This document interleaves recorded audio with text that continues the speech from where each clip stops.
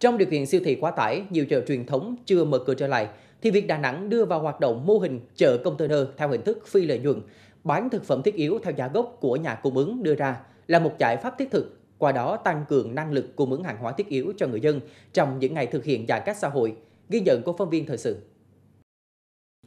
Đây là một trong 30 điểm đặt container bán hàng của Công an thành phố Đà Nẵng, nằm trên đường Hùng Vương, phía trước khu vực chợ Cuồng.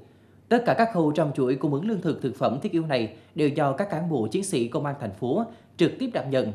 Người dân muốn mua hàng chỉ cần đăng ký với ban điều hành khu dân cư thông qua danh mục có sẵn đơn giá. Tiểu ban sẽ cung ứng, sẽ tiếp nhận soạn đơn. Cảnh sát khu vực và tình nguyện viên sẽ là lực lượng đảm nhận việc chuyển và giao tận tay đến người dân. Ở phường 22 là có 9 khu vực thì công an phường 22 đã thành lập 9 cái tổ và khi 9 tổ này sẽ do công an đảm trách và sẽ nhận phát phiếu cho người dân và nhận phiếu về. Sau đó ra đây nhận lương thực và phân phát về. Công an phường sẽ tự dây chuyển, phân phát về cho từng hộ dân. Với tiêu chí phi lợi nhuận, tất cả thực phẩm thiết yếu như thịt heo, gà, vịt, gạo và gia vị được bán theo giá gốc nên luôn rẻ hơn giá thị trường.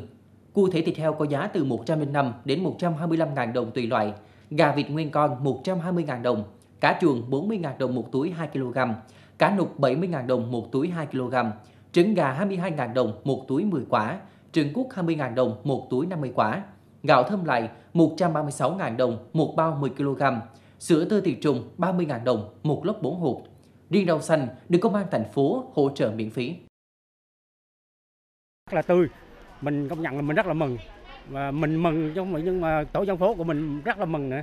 Tổ mình là 60 hộ. Tháng này là mình đăng ký cũng là trăm mấy hai trăm ký thịt. Thịt thì rất là tươi, à, rau cũng vậy còn à, cá cũng à, nói nói chung là mọi thứ là thấy ổn à. À, à giá cả à, nói chung là bà con mà thấy giá cả này rất là hợp lý Mô hình chợ container này được duy trì cho đến khi thành phố kết thúc thời gian giãn cách xã hội vào ngày 5 tháng 9. Công an thành phố Đà Nẵng liên kết nhiều chuỗi cung ứng các nguồn thực phẩm để phục vụ người dân.